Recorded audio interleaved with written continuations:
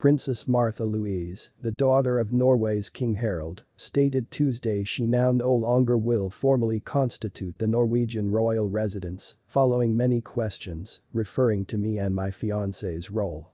The 51-year vintage princess, who's fourth in line to the Norwegian throne, were given engaged in June to Durek Verrett, an American who describes himself as a shaman and a healer on his website. At least one basis for which Märtha Louise served as a purchaser ultimately ended its reference to the princess.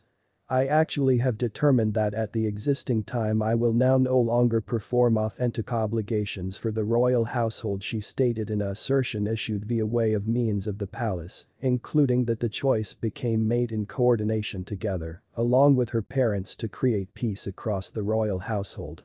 The princess will maintain her identify, however the palace stated she knowledgeable the groups in which she nonetheless served as purchaser, that she became relinquishing the role. Her more youthful brother, Crown Prince Haakon, 49, as the inheritor to the throne. I am sorry that the princess will now no longer constitute the royal residence Harald stated at some stage in a press convention approximately the issue. The 82-year vintage king stated that we comply with disagree, we have checked out this technique from all sides his wife, Queen Sonja added. This has been a unanimous choice.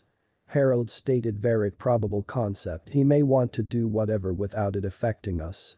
He need to additionally don't forget what we stand for Sonja stated.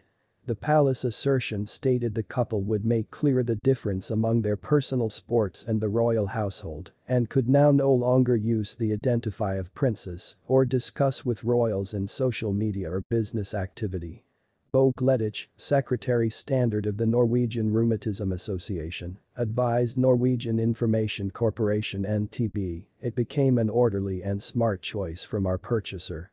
She has resolved this on her personal initiative, and that's good Gleditsch advised NTB. Norwegian media have accused Märtha Louise and Verrett of allegedly the usage of her royal identify for business advantage alongside selling opportunity fitness care strategies.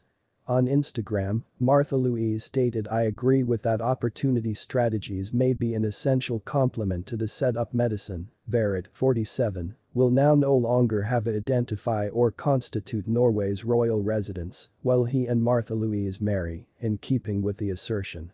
The pair, who have been collectively given that May 2019, in keeping with Norwegian media, will attend family-associated events and conventional royal events, thanks for watching till the end guys.